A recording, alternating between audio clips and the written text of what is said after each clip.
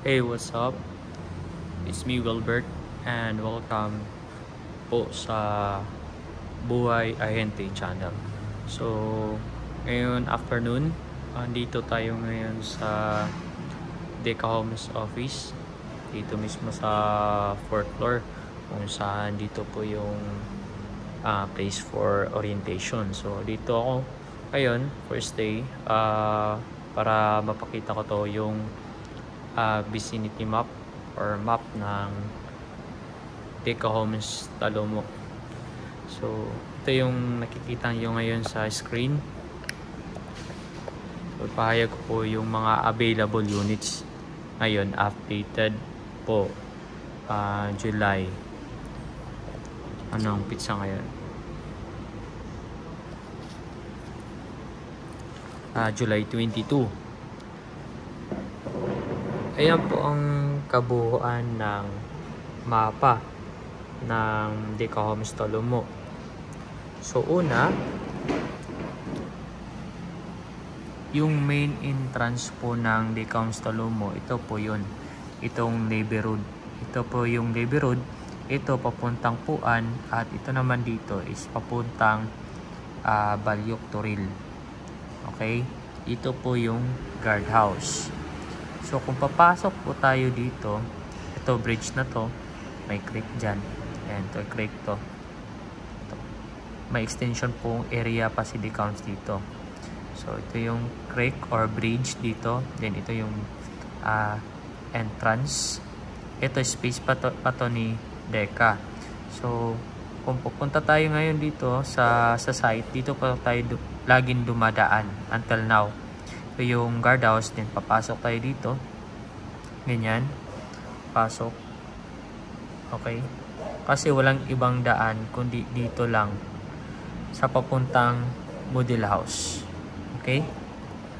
So ito po yung dito na sa papuntang ano yung sa entrance going dito. Walang ibang daan kundi dito lang sa phase 1 itong dito na side yung may model house. Ito po yung may model house.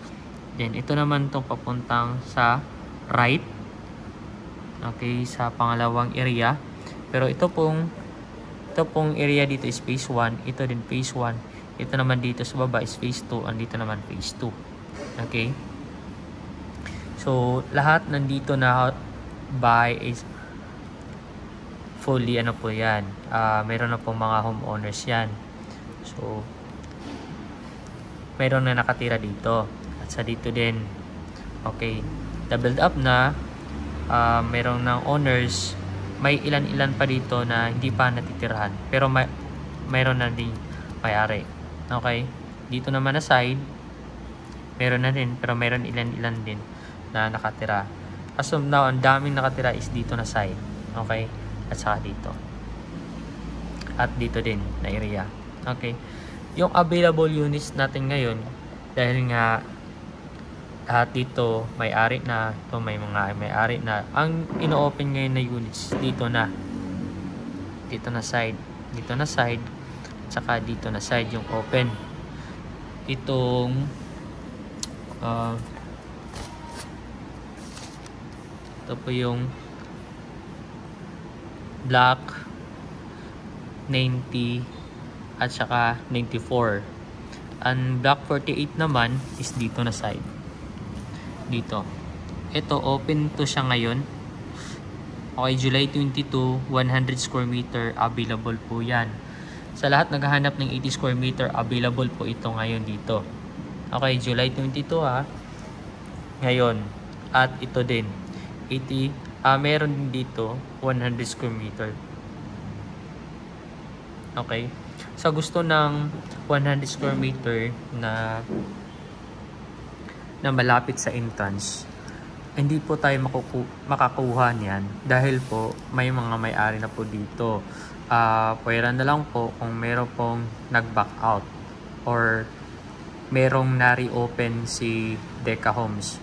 So, pwede natin applyan yan. Pero kung makakuha kayo, kailangan talagang meron kayong agent na mag-aasikaso sa inyo, katulad ko, para po sa pag-compile ng requirements. Kasi isa din po yan sa hinihingi ni Deca, yung complete requirements po na sinasabit nyo kas kasama yung reservation fee dito po sa office ng Deca Homes po sa Quirino. Okay? So, yung 100 square meter at saka 80 square meter, halos magtabi-tabi lang yan.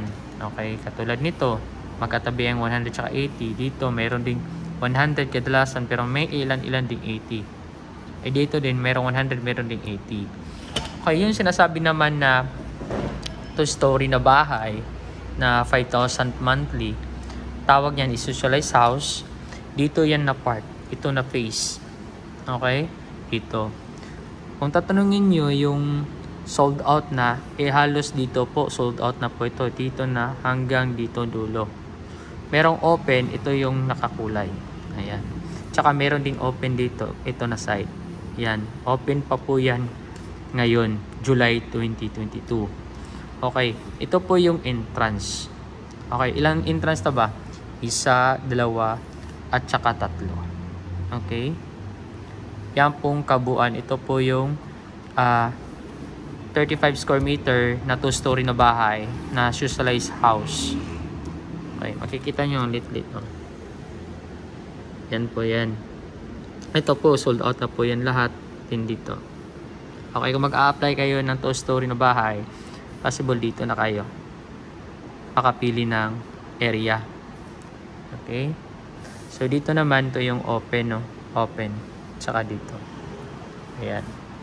Halos po, nasa mga 80% na po yung sold out ngayon eh, Deca Homes ang nakatira almost uh, na siguro nasa mga 55 to 60 range na po yung nakatira.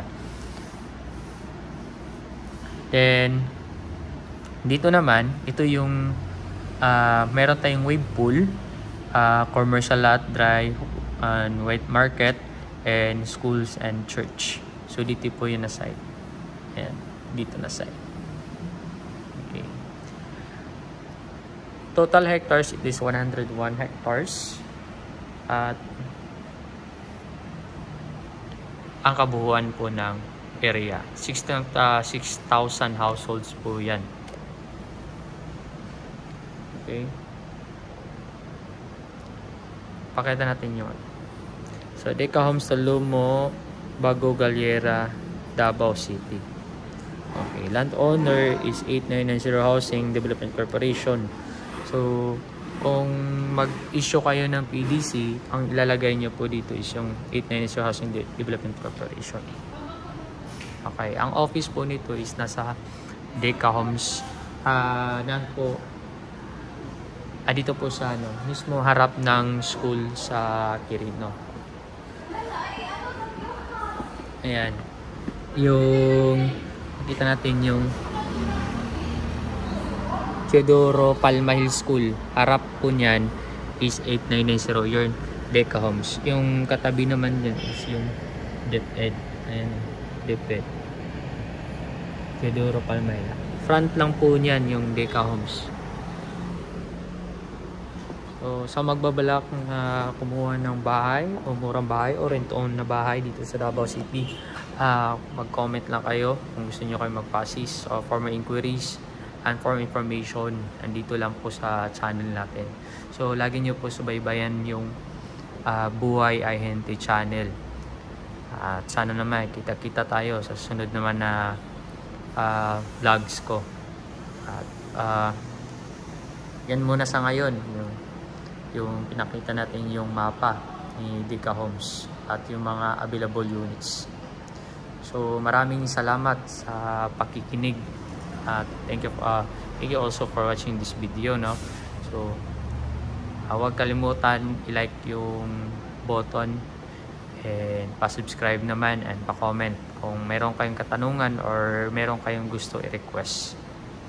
So this is your Will Wilbert Atrado um, see you in my next vlog. Peace and God bless